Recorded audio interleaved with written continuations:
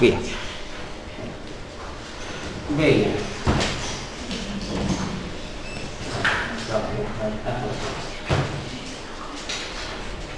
Quindi la volta scorsa avevamo ripassato, come fatto l'anno scorso, cioè la cinematica, cioè lo studio delle forme di movimento. Okay? Oggi passiamo a un altro grosso capitolo, un capitolo fondamentale, importante dal punto di vista dell'evoluzione della scienza, che è la dinamica.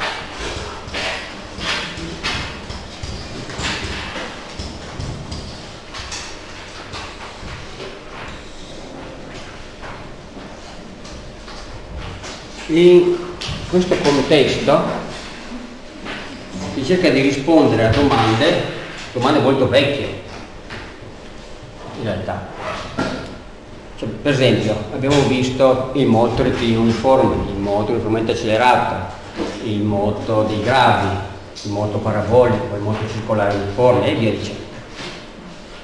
Qui cinematica, quanti e quali tipi di moto ci sono. Qui andiamo a vedere per quale ragione ci sono quei tipi di moto e non o altri. Che cos'è che fa sì che un oggetto si muove in un modo o in un altro. Cioè andiamo a dare una interpretazione.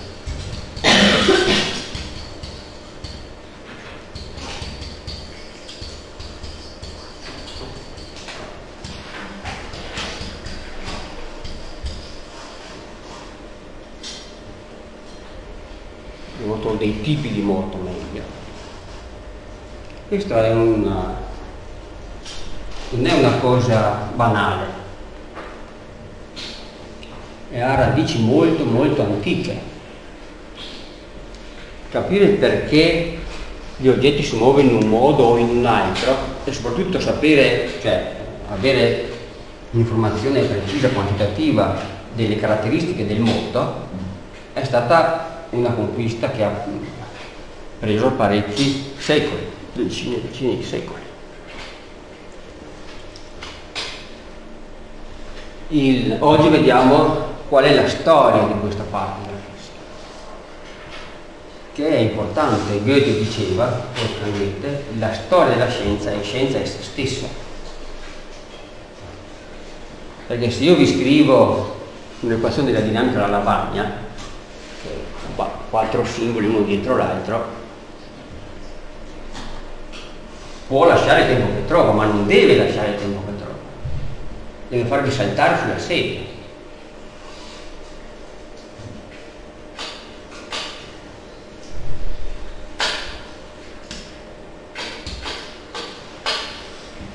Chi sono i protagonisti di questa storia? Beh, se prendete il libro di fisica, ma tutti i libri di fisica, e non solo quello adottato, dicono la dinamica,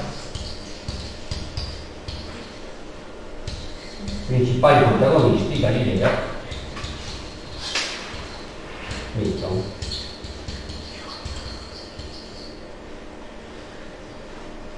Galileo in questo contesto principalmente per il principio di inerzia nel De Motu del 1600 e nel 1500 mi pare 49 o giù di Newton quindi fatemi controllare. Le date sono importanti.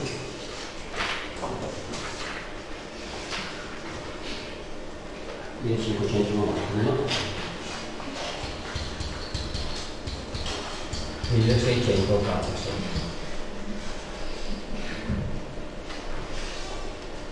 E eh, questa è una, senza niente togliere a Galileo aiuto, questa è una fase cruciale, qui nasce quella che eh, intendiamo come fisica classica, classica significa che non va mai fuori moda.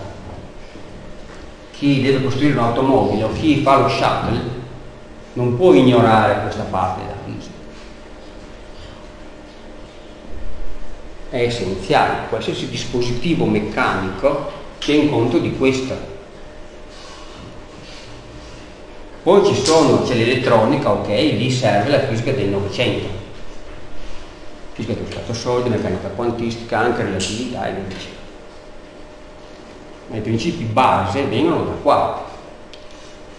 Questo ha cambiato la storia dell'umanità perché ha comportato una visione del cosmo, della Terra e del cosmo completamente nuova. Il modo di pensare delle persone è diverso da prima e dopo questo.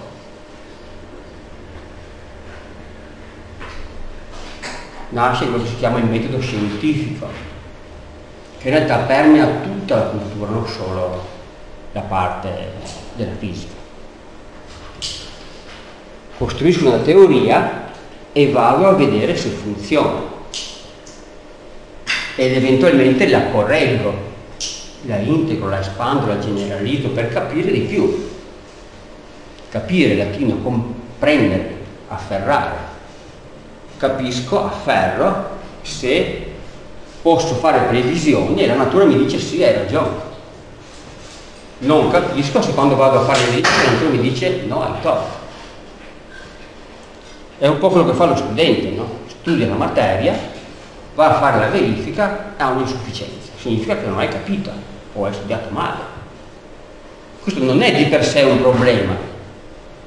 Si torna indietro e si rifà. Ho imparato come non studiare. Devo studiare in un altro modo. Questo è essenziale, è tutto lì. Uno impara dai propri errori, se non fa errori non impara mai niente. Nessuno sa tutto nessuno di questa terra quantomeno, altrove non so. Questo è un punto fondamentale. Ma secondo me una domanda interessante è come ci sono arrivati?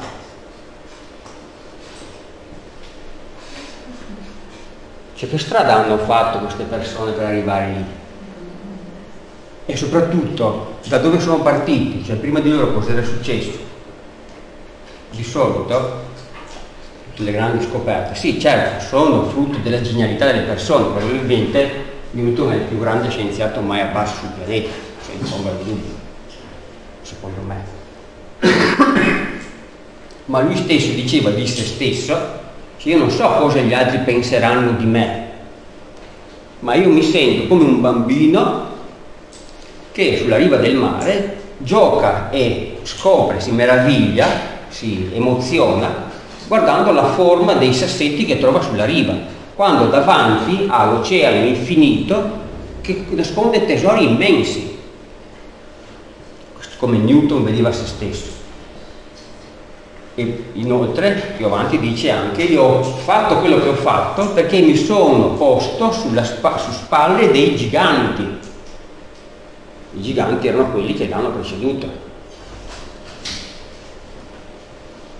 nessuno fa da zero, da zero è difficile, la cosa più dura. Non è partito da zero, ha fatto molto ma non è partito da zero.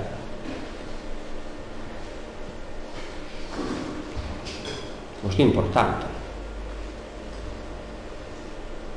Quando Galileo è generazione precedente a Newton, come vedete, quando Galileo andava all'università, lui si è iscritto inizialmente a medicina, padre voleva che diventasse medico e eh, era una delle carriere più, tra virgolette, promettenti, c'era quella, quella ecclesiastica e quella della, della giurisprudenza. Ma Galileo diserta quasi tutte le lezioni, tranne quelle di matematica e di astronomia. A quell'epoca matematica e astronomia erano la stessa materia.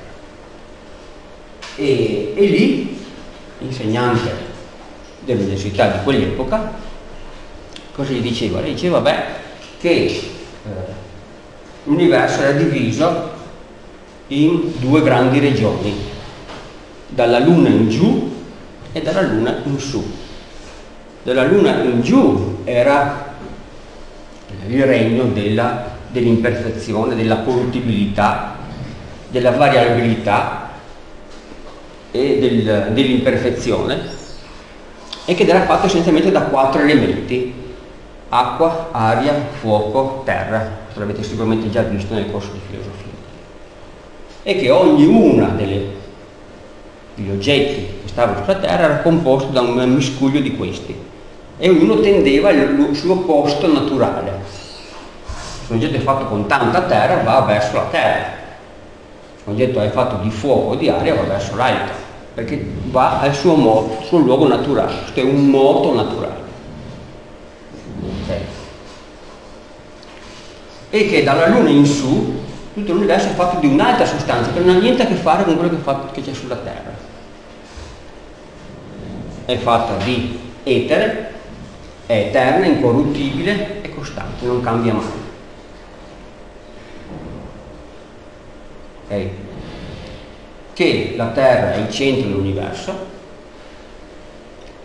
e che tutto ruota attorno alla Terra. Questo Aristotele lo eredita da qualche secolo prima. I primi a applicare modelli geometrici alla natura sono stati i greci, Talete, Mileto, mil, eh, nel 650 circa a.C., comincia a ragionare sulla natura in termini naturali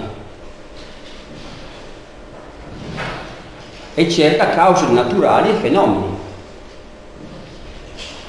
Dice addirittura l'universo, tutto, tutto ciò che c'è nell'universo è fatto di acqua c'è un principio unico che, combinato in modi diversi, dà luogo a tutte le sostanze.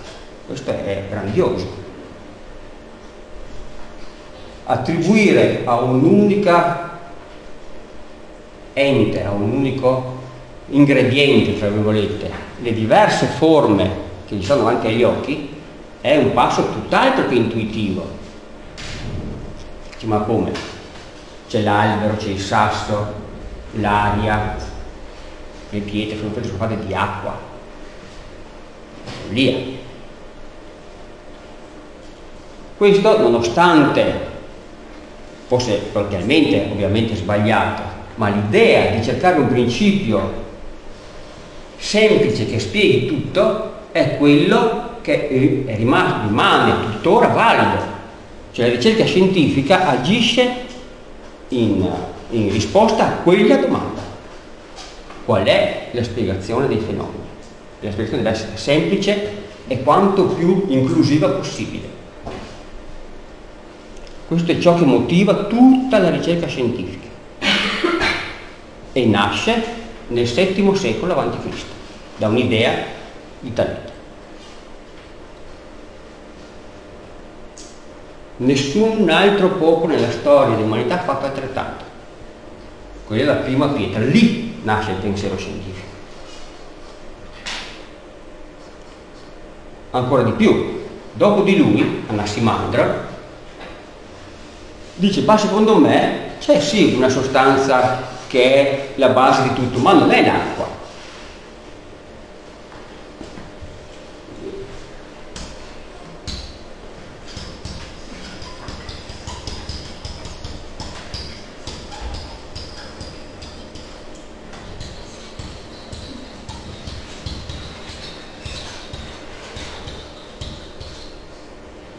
610 nasce, quindi intorno all'inizio del VI secolo. Secondo lui è la Peilon, non so come scriverlo in greco, mi perdonerete, che è una cosa astratta che nessuno ha mai visto. Però dice con questa sostanza, composta in modi particolari, ottengo tutto quello che vedo. È un po' come, questo è un concetto straordinario per l'epoca se pensate adesso, tu, interpretiamo tutto in termini di energia, ma l'energia nessuno l'ha mai vista, né, né mai nessuno la vedrà. È un concetto astratto ma estremamente utile, la chiave per interpretare un sacco di fenomeni, un'idea rivoluzionaria. Qui nasce il pensiero scientifico, cioè interpretare quello che vedo in termini naturali, al di là del mito, L'universo non è costruito dare divinità che lo fanno così com'è adesso. È interpretabile in termini naturali. In questo periodo nasce anche la medicina. Da, I primi documenti medici che abbiamo sono del secondo millennio a.C. in Egitto. Una prescrizione di quello che bisogna fare per un sacco di malattie. Ma sono tutti, quasi tutti, delle, degli, eh, dire, degli esorcismi, perché si riteneva che uno stesse male perché aveva subito delle maledizioni. Qui nasce l'idea, VI secolo a.C., che le malattie hanno cause naturali. Ci sono i primi studi in quest'epoca che distinguono per esempio la circolazione sanguigna venosa da quella arteriosa. Qualche secolo dopo ci sono studi sulla, sulla distinzione tra i nervi motori e i nervi sensori. Ci sono chirurghi in grado di dare la vista ai ciechi, facendo interventi di rimozione della cataratta. Senza un'idea di ricerca, di scienza simile o che precorre quello che abbiamo oggi, questo è impossibile.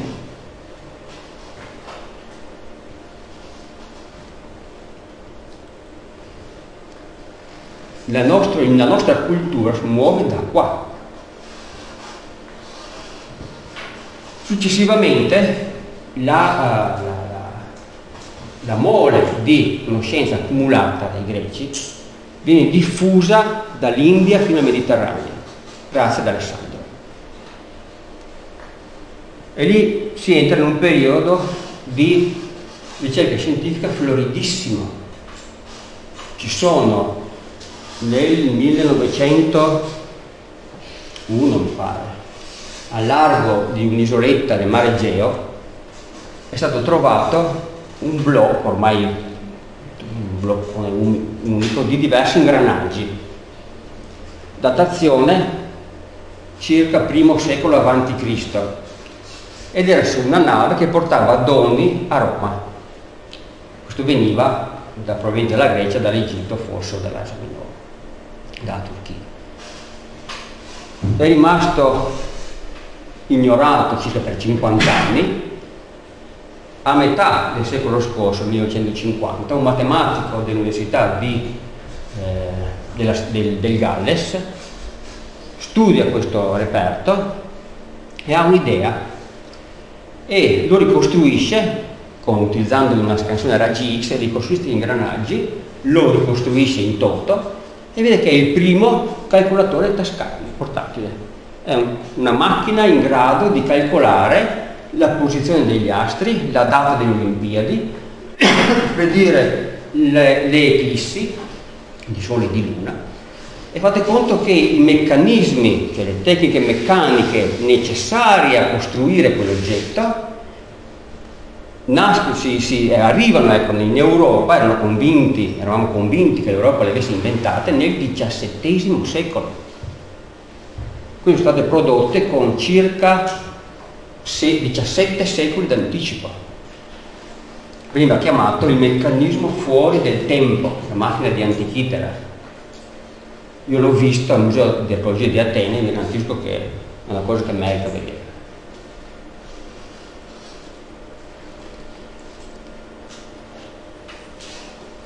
Il, eh, ma questo non è tutto. Il, nello stesso periodo affiora un concetto che poi Galileo riscopre. Il principio di inerzia, cioè l'idea che un oggetto rimane nello stesso stato di moto finché non interviene qualcosa a cambiarlo, Galileo lo descrive in questo modo. Vi leggo il passo del Demoto, 1591. In queste condizioni, cioè in assenza di attrito, qualsiasi mobile, qualsiasi oggetto, su un piano equidistante dall'orizzonte, un piano orizzontale, sarà mosso da una forza minima anzi anche da una forza più piccola di qualsivoglia altra forza. che se non ho attrito, per mettere in moto qualcosa mi basta una forza piccolissima. Questo contrasta tutte le idee di Aristotele. È una rivoluzione. Ma sentite questa. Non vi dico l'autore, ve lo dico dopo. Dimostreremo che i pesi in una tale posizione, posti cioè su un piano orizzontale privo di attrito, possono essere mossi da una forza minore di qualsiasi forza data. Trovate differenza tra questi due? Lo ripeto. Tipo di inerzia. Galileo 1591 quello che vi ho appena letto è un passo preso da Erone di Alessandria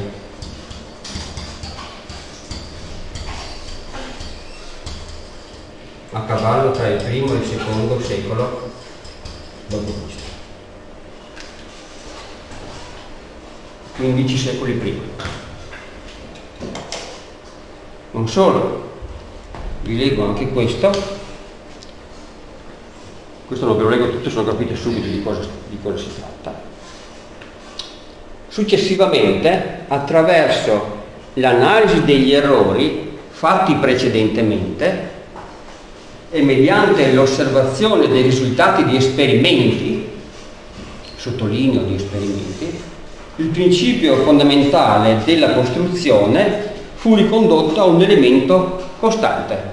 Salto il dettaglio, dopo ve lo leggo tutto che non tutto si possa ottenere con il ragionamento e con i metodi della meccanica, ma che molto debba essere scoperto con gli esperimenti, risulta chiaro sia da molte cose che in particolare, molte altre cose che in particolare da ciò che dirò in seguito.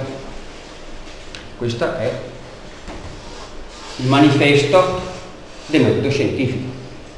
Non posso raggiungere risultati, risultati tra virgolette, solo meditando. Devo fare esperimenti, non solo, ma non ne basta uno, devo farne tanti e meditare sul risultato.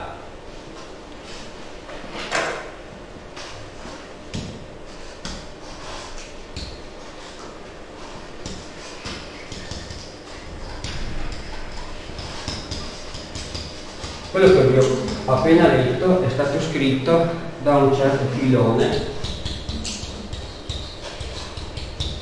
di Bizanzio. Nel in un libro si chiama Velo Poetica, terzo secolo a.C.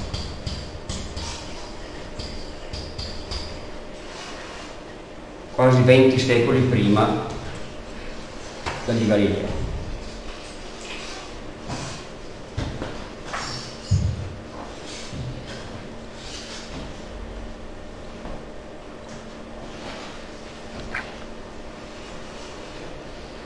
Qualche secolo dopo Euclide scrive gli elementi di geometria.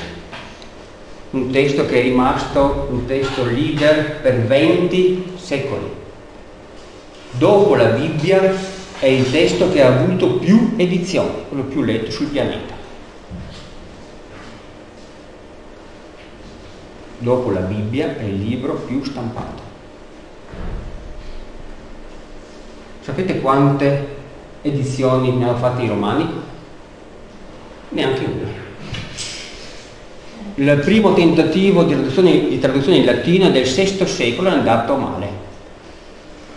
Non ne sono tradotto. La prima traduzione in latino degli elementi di Euclide è del 1120 a opera di Adelardo di Bath in inglese. Ahimè i romani bloccano questo progresso. 31 a.C., battaglia di Azio, entrano in possesso dell'Egitto, nuovi Tolomei, deportano quelli che erano nella biblioteca e questo si blocca. rimane fermo. Introducono un ritardo nello sviluppo della ricerca scientifica di circa, cosa poteva essere, 13 secoli.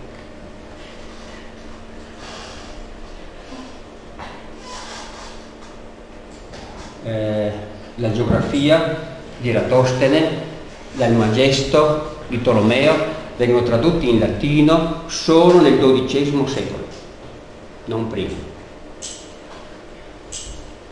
I romani avevano una mentalità utilitaristica, quello che mi serve prendo e il resto ignoro, non mi preoccupo del perché funziona.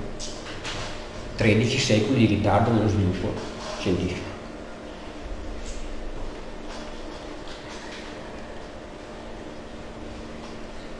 Per fortuna, appunto, la cultura greca più ellenistica è diffusa anche dall'Egitto all'India, cioè viene raccolta dagli arabi. Infatti il, il, gli elementi di Euclide vengono tradotti non dal greco, vengono tradotti dall'arabo. Un altro grande traduttore è Gerardo da Cremona, anche lui XII secolo. Lui è Adelardo di Bath hanno, sono persone chiave per lo sviluppo del Rinascimento, la rinascita dell'Europa. Senza le loro traduzioni, Keplero, Copernico non avrebbero trovato niente su cui studiare, avrebbero trovato testi in arabo e loro l'arabo non lo conoscevano. La matematica utilizzata da Keplero per raggiungere le leggi sui pianeti, che vedremo più avanti, è una traduzione del trattato sulle coniche di Apollonio di Perga, di cui un libro ahimè è andato perduto per sempre, fatta da Gerardo da Cremona, 1200. Nel, una data fondamentale, nel 1085, in Spagna, Alfonso VI di Castiglia conquista Toledo, quella che gli spagnoli chiamano la Reconquista. E, meno male per noi, trova un'immensa biblioteca, con testi in greco e in arabo, che gli arabi avevano portato là per studiarli anziché distruggere la biblioteca come avrebbero fatto i romani o, o, o saccheggiarla, chiama studiosi da tutta Europa che cominciano a venire, a fare copie dei manoscritti, a tradurli e cominciano a girare nuove idee. E su questi libri hanno studiato Galileo, Copernico e Kepler e Newton.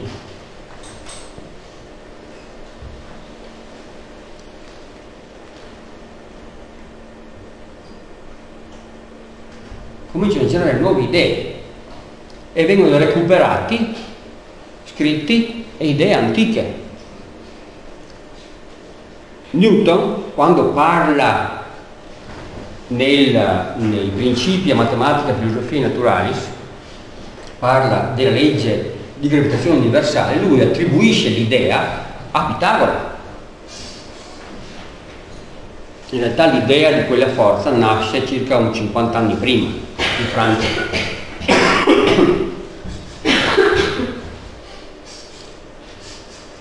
E le idee nuove che nascono dallo studio di quei testi mettono in crisi il modello di universo in voga e che veniva trasmesso nell'università a quell'epoca. Copernico dice, ma se il sistema geocentrico non funziona, i greci stessi sapevano che non funzionava, che aveva difficoltà, non, venivano fatti cerchi su cerchi, i pianeti giravano su cerchi che giravano su altri cerchi, per riuscire a comprendere il moto c'erano qualcosa come 77 cerchi in totale, una cosa complicatissima. Perché dice, ma se mi metto invece sul Sole, se il Sole è il centro, tutto diventa molto più semplice. I disaccordi rimangono comunque, perché Copernico comunque aveva l'idea che le orbite fossero circolari, questo non funziona, non esattamente, ma la descrizione è enormemente più semplice. che però va un pochetto più avanti, dice tutto migliora se anziché usare cerchi uso ellissi. Da dove è venuta l'idea? Studiando il trattato sulle coniche di Apollonio di Perga, secondo secolo a.C.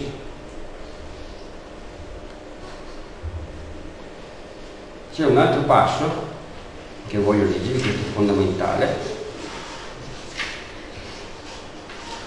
Vediamo se lo trovo.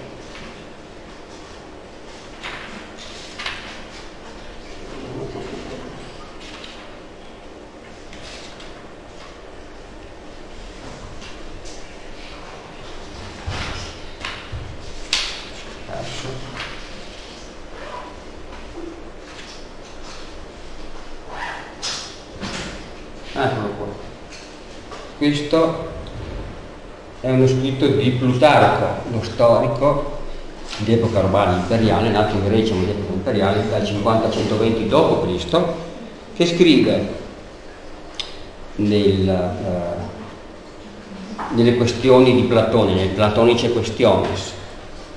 Doveva pensare, si a Timeo, il personaggio di cui parla, che la Terra fosse stata progettata non confinata e stabile, cioè ferma al centro dell'universo, ma rivolgentesi, di evoluzione, e ruotante come successivamente affermato da Aristarco, Aristarco di Samos, dell'epoca più o meno di Pitagora, cioè III secolo a.C., primo modello eliocentrico, e Seleuco, 190 a.C. in Mesopotamia, comunque anche lui lavorava alle saghe, il primo Aristarco assumendolo, cioè il fatto che la terra si muovesse, solo per ipotesi, Seleuco provandolo. Cioè nel secondo secolo a.C. ci sono studi che dimostrano che la terra si muove in base a cosa? In base allo studio delle maree quando Galileo dice se Copernico afferma che la Terra si muove, come faccio a non rendermene conto? Ignora tutta quella parte. Eh, 18 secoli prima di lui qualcuno ha dimostrato che la Terra si muove, se no non si spiegano le maree. Aristarco di Samo presume, suppone che la Terra sia in moto, fa un'ipotesi e vede che l'astronomia funziona, cioè riesce a rendere conto abbastanza bene del moto degli astri. Seleuco lo dimostra.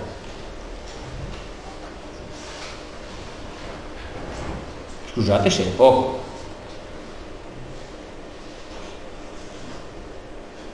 La teoria, se voi prendete un libro sulla Terra e il mare è, si parte da Newton.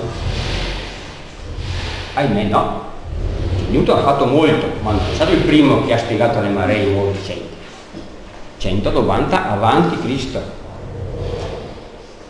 La terra si muove, se no le maree non ci sarebbero, o non sarebbero quello, tali quali sono.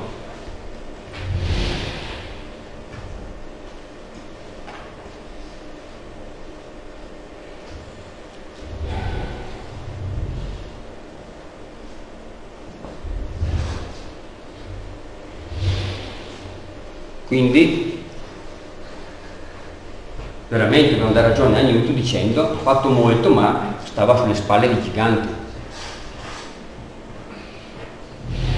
E nasce una, rinasce una rivoluzione scientifica che sta stroncata nel 31 a.C. Poi sì, c'è Tolomeo, ma Tolomeo compila, riassume quanto fatto prima nel Magesto poi riusciamo ad arrivare alla ciliegina sulla torta 380 d.C. Teodosio vieta tutti i culti pagani e impone un editto, l'editto di Costantinopoli, in cui chiude tutti i templi non cristiani. Alessandria viene incendiata la biblioteca e quelle poche che rimaneva viene disperso completamente. La storia ne, ne subisce ancora i danni perché? perché non è un caso che nell'arco di una generazione Per esempio, l'ultima scritta geroglifica in Egitto è del 392 a.C. d.C.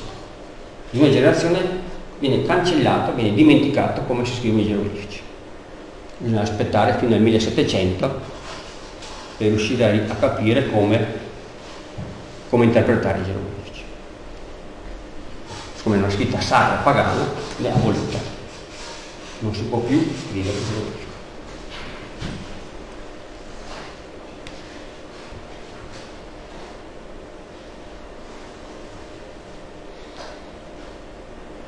Quello che vi ho raccontato oggi lo trovate sul libro di Lucio Russo, La rivoluzione dimenticata.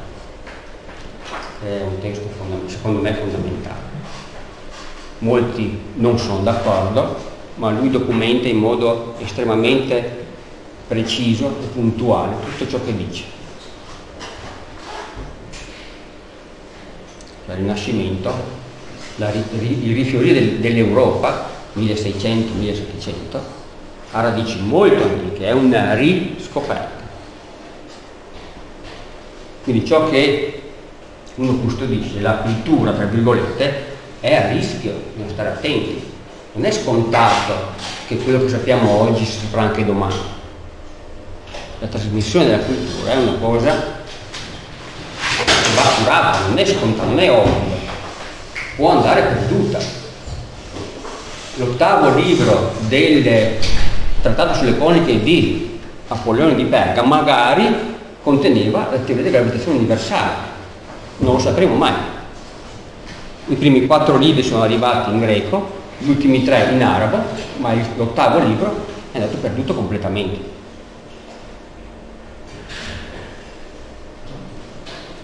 Fate conto, per dare un'altra, un'altra idea della, della situazione, Vitruvio, no, Plinio scusate, Plinio il Vecchio scrive nell'Historia Naturales cita un trattato una, di apicoltura, come allevare le api, eccetera.